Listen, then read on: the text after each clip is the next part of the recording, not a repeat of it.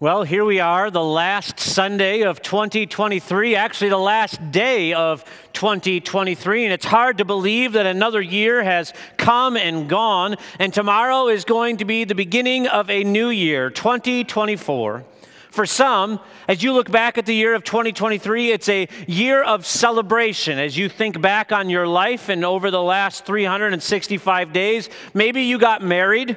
Maybe you had a child or a grandchild. Maybe you graduated from college or high school. Maybe in 2023 you started a new job and you love it, or you quit an old job and it's the best thing you've ever done. 2023. Maybe you retired this year in 2023. Maybe you started dating somebody or even got engaged, or you bought a new house. Maybe you had an amazing vacation in 2023 and you are enjoying it. Maybe you celebrated a special anniversary in 2023, or maybe you made more money this year than you've ever made in your entire life, and it only looks like it's going to get better. For others, 2024 is or 2023 is a year that will be associated with pain. Maybe you lost someone you loved, a spouse, a friend, a parent. Maybe in 2023 you had to file bankruptcy because your business failed. Maybe this year you received bad news from the doctors about your health that's going to impact you for the rest of your life. Maybe in 2023 you got a divorce or you've been separated from your spouse. Maybe you've been sick and it's just been a year of one health issue after another. Maybe in 2023 you even lost a friendship and you feel betrayed. For others, 2023 was just another year of unfulfilled dreams desires that continue to be there. The crazy thing is, in a church this size, I know some of you, if for 2023, have had multiple things from the amazing category happen, as well as multiple things from the not so amazing category happen. All in the same year. It's been a year of high highs and low lows, and you're just ready to move on into something different and maybe hoping to go down the middle of the road for a little bit. You know, when we come to a new year, some people take this as a time to reflect. Some people take this as an opportunity to set new goals for next year health goals, relationship goals, financial goals. Other people take this as a time for career goals. But today, I want to encourage you to set up spiritual goals. Why? Because it is a proven truth that in all of our relationships, there are rules that apply. You are either growing closer to someone or further away, but you never just stay the same. This is true in all of our relationships, our marriage relationships, our friendships, our family, and it's also true of your relationship with God. One year from now, on December 31st, 2024, you will either be closer in your relationship with God or further from Him, but there is one thing that is true you will not be the same. And where you end up, whether closer to God or further away, will be totally dependent on you because God will get as close to you as you will allow Him. He desires to have a great relationship with you. So, my question for you today is what is your goal for 2024? Do you want to grow closer to God or do you want to end up further away? And my desire is to give you some steps that can help you grow closer. And you need to know that growing closer in your relationship with God doesn't just happen by chance. Instead, it is an intentional decision that you make, intentional effort that you put in. In fact, I have found to be true in my own life that if you don't make the intentional effort to grow, you will naturally and easily fade. Unfortunately, growing in your relationships takes work. But fading in your relationships just requires you to do nothing. So if you want to grow, you have to put in effort. If you want it to fade, your job is just to do nothing. And my goal is to help you grow, so I don't want you to do nothing. I want you to do something. And that's what we're going to talk about today. Let me pray. Heavenly Father, as we come to the end of another calendar year, it is truly just another day. But it's a day that we can reflect. It's a day that we can look back on your blessings and also the challenges and difficulties. It's a day that we can look forward to the next year, putting our faith and trust in you that you know everything that's going to happen to us. So, God, it is our desire to grow closer to you. Help us to take those steps that are necessary.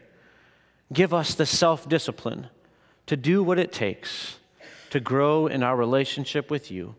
We ask this in Jesus' name. Amen.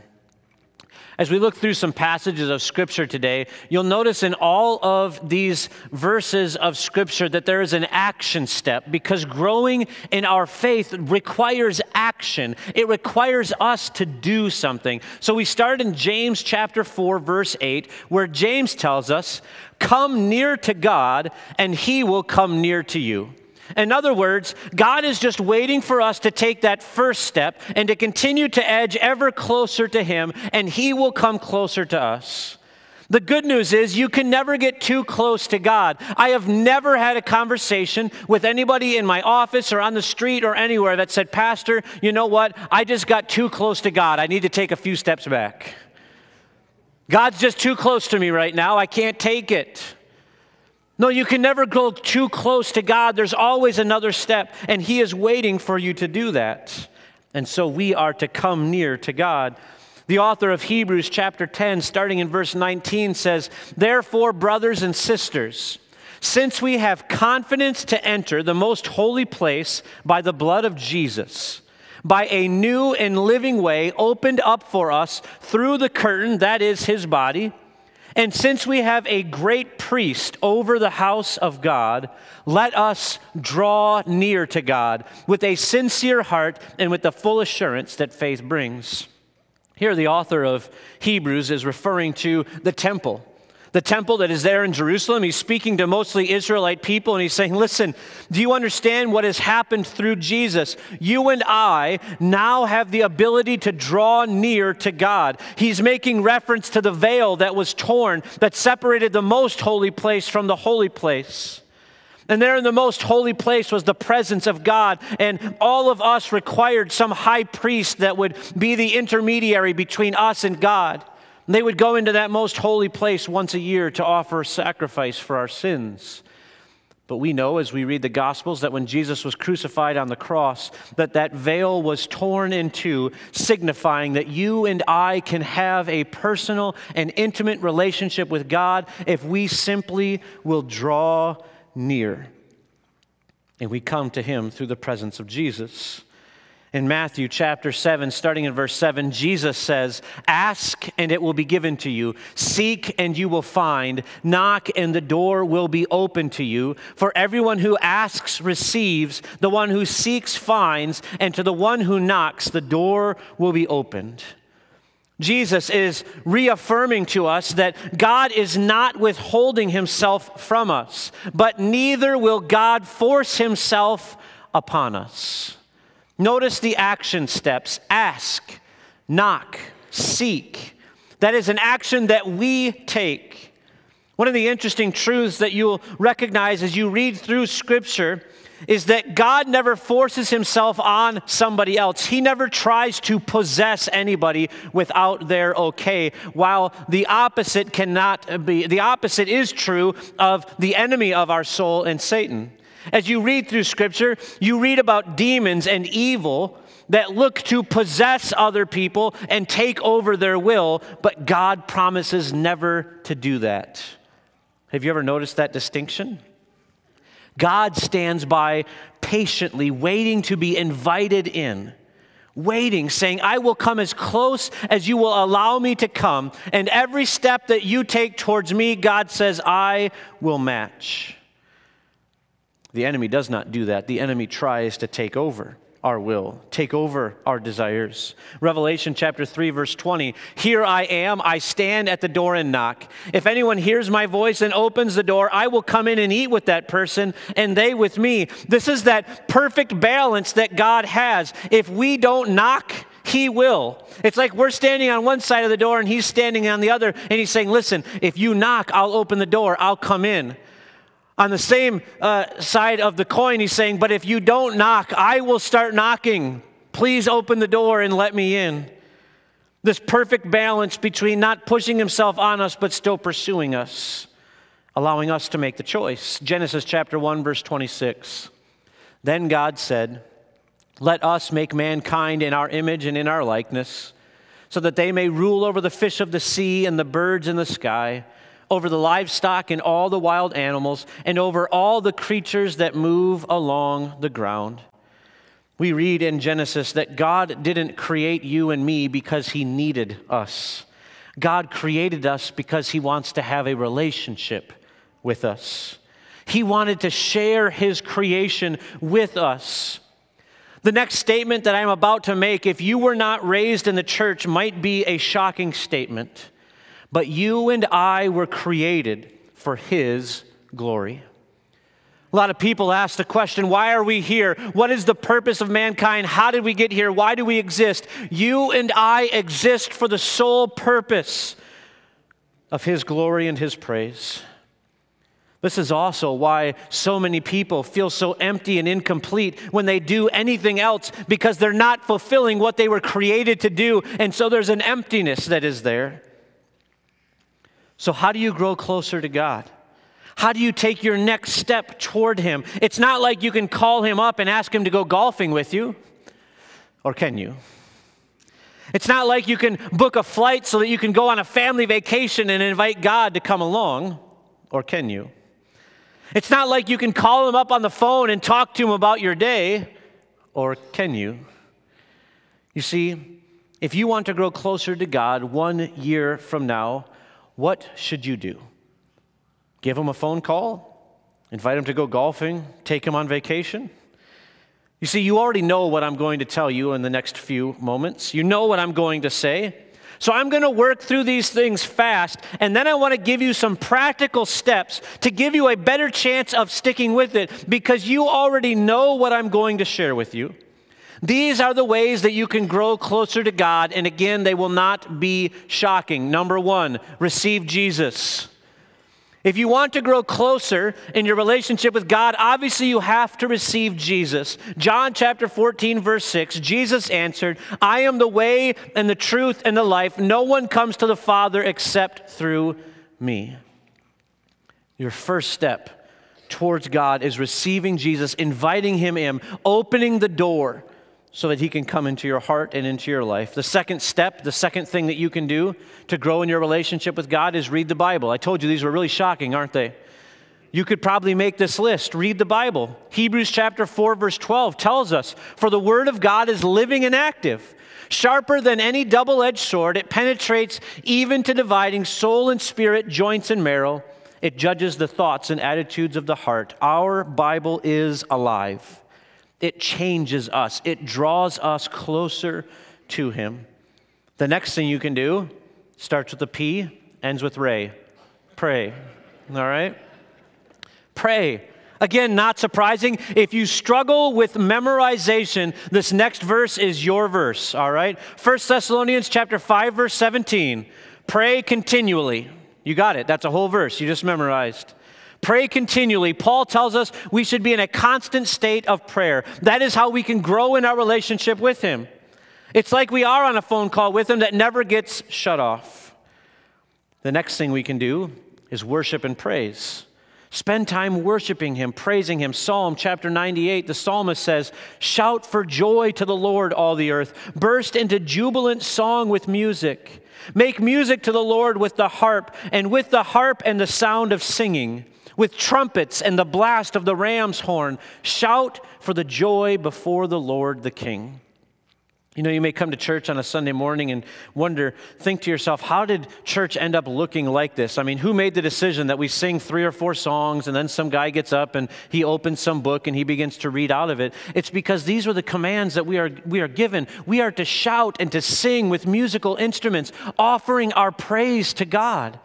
This is one of the ways that we grow closer to Him, making sure that we appreciate Him and we lift Him up and we exalt Him. All of these things that we do. The church service wasn't just made up by somebody as to, well, I guess this is what we're supposed to do. We are commanded to do these things. The next thing you can do is get involved. Again, not surprising. Get involved in the church, attend worship services, get in a life group, join a Bible study, come to a Sunday school class, serve.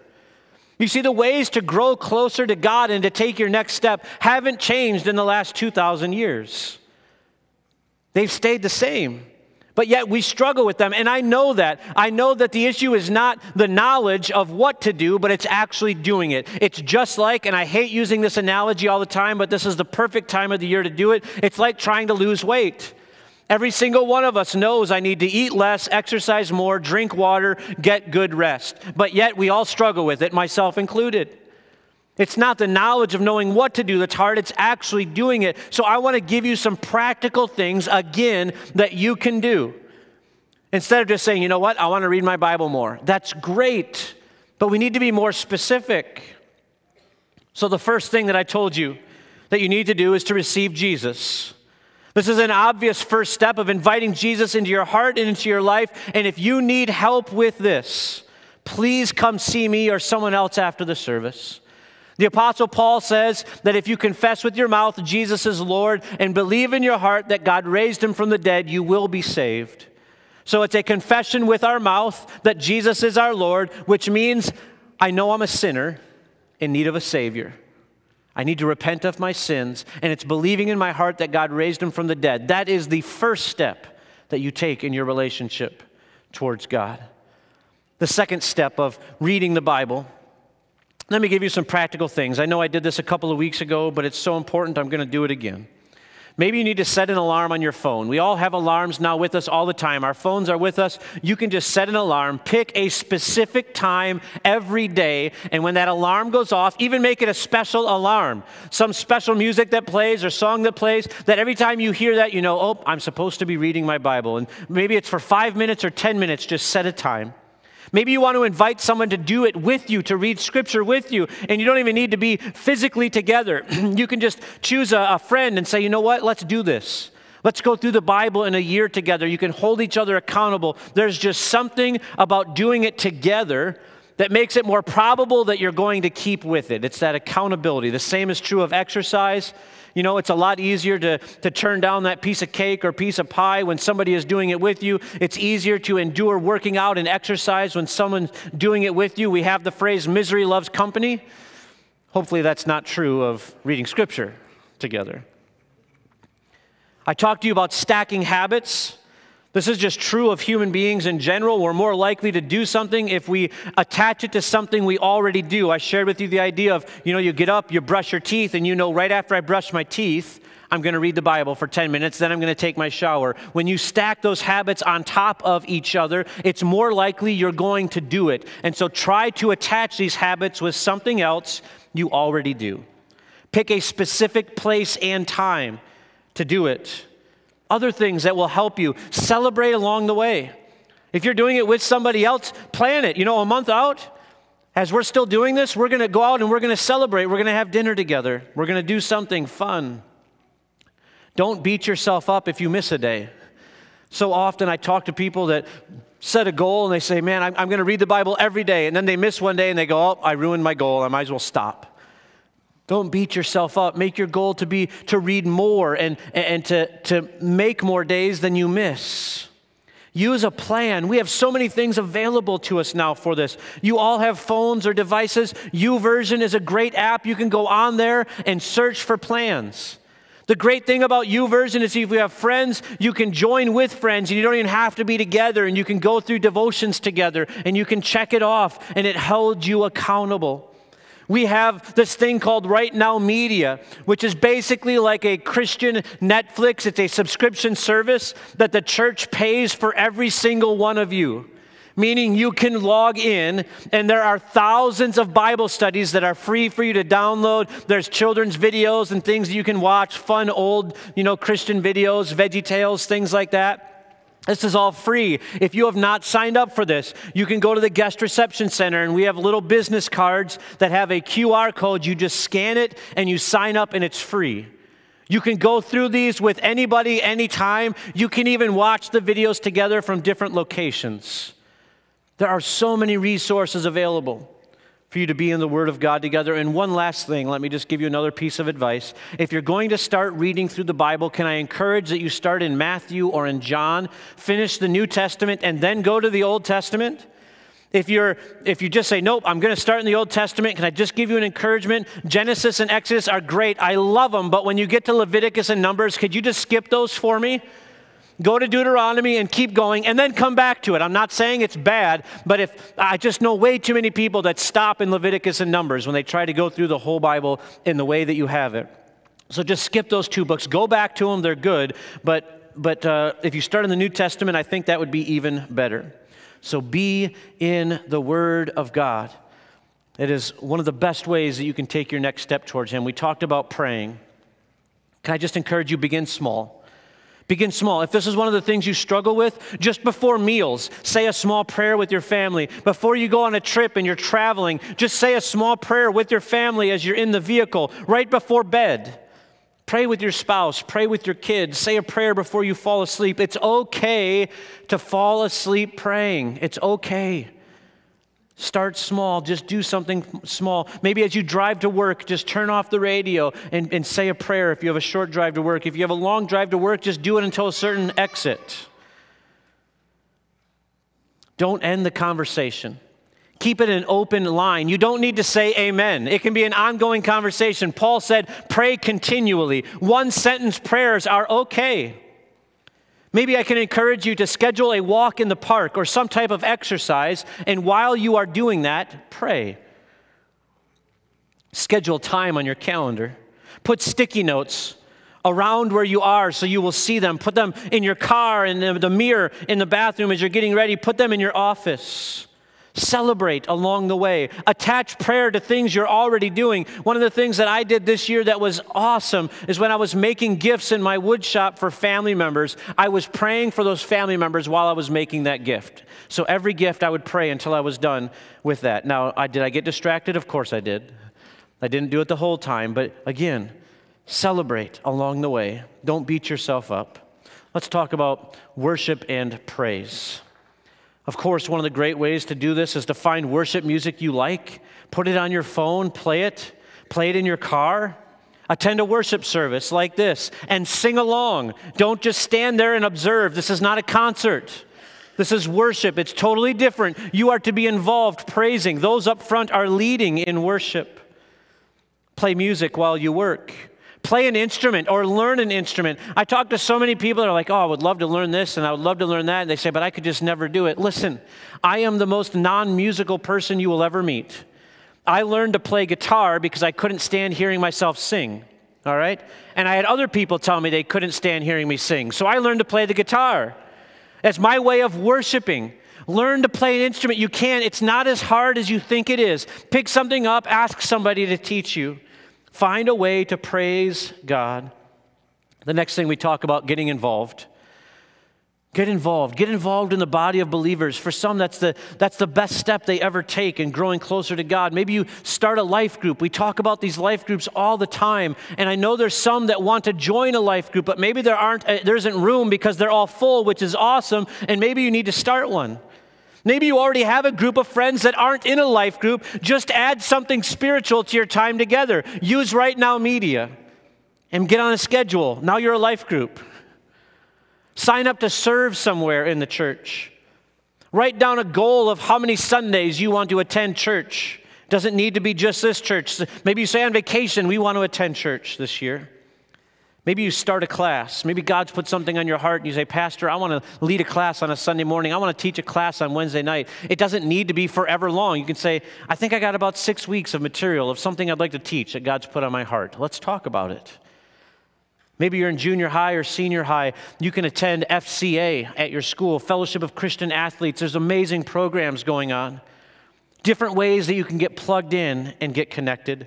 But my goal is that you would make 2024 a year of growth. Don't assume that it will just happen because you want it to. You need to take practical steps that lead toward your goal.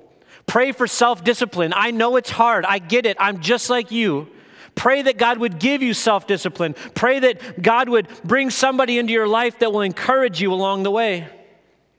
And let me just tell you again from personal experience take that first step. And then the second step will be a little easier. And the third step will be even easier than that. Life is truly about one step, one day, one decision at a time, and you will look up a year from now and realize that you are way further down your spiritual journey than you ever imagined. So, I want to give you an opportunity today to take that first step. That first step may be making your desire public. Now, I don't recommend that you look at all of these things that I've listed and say, okay, I'm going to do all of those, Pastor. I want to do every single one because I know from experience it's just going to be overwhelming and it's not going to happen. I truly believe that God will lay it on your heart. If you'll say, God, of all of these things, what is my next step? What do I need to do? Do I need to be praying more, reading the Bible more? Do I need to get plugged in, get connected? Do I need to receive you for the first time? I believe that the Spirit will speak to you this morning. And He'll say, This is what your next step is. If you want to do it, I encourage you to do it. God is saying. And maybe it's making that step public. So here's what I'm going to ask you to do. For some of you, we always have people up here that are praying on both sides. The altar is always open. For some, you may just want to come up to the altar and just say a quick prayer God, my desire for 2024 is that I will spend more time praying with you and talking with you. That's it, and you go back to your seat. For some of you, you might want to verbalize it, and so you'll just go up to one of the people on the side and say, Hey, I just want you to know my goal is to read more scripture this year. I plan on starting in Matthew and working my way through. This initial step is a step of accountability. And let me just tell you something. If you are afraid to come up front in a church service on Sunday morning in a room filled with other believers and tell someone that you want to pray more or read through the book of John, then it is very possible that you will struggle greatly when the enemy attacks you while you go through your week. If you can't do it in a room where people are encouraging and loving, the enemy will probably knock you down. Don't be concerned about what others think or what they might say. It's between you and God. We simply want to be an encouragement to you. You don't have to come up front. I'm not making anybody do anything. You can make a commitment from the seat you're in, and you can tell somebody close to you that can hold you accountable better than we ever could. But I want you to grow closer to God this year. I would love next year, as we wrap up the year, to have a service like this and to have people share, you know what? I have grown closer to God because every day I just took a small step. I'm not superhuman. I didn't do anything great, but every day I just did something little. And man, do I feel closer to God, and I love it. Wouldn't it be great to hear the testimonies of God's faithfulness? Let's pray. Heavenly Father, we do come before you. And as we look back over the last year, we all see something different. For some, it was a blessing, for some, it was a difficult season. But we all have the hope of looking forward. We have the hope that comes through Jesus Christ. That you want to have a relationship with us, that you long to spend time with us. May we take those small steps, make those small decisions. Listen to your Spirit speaking to us now in order to grow closer to you. May you receive the praise. We ask this in Jesus' name. Amen.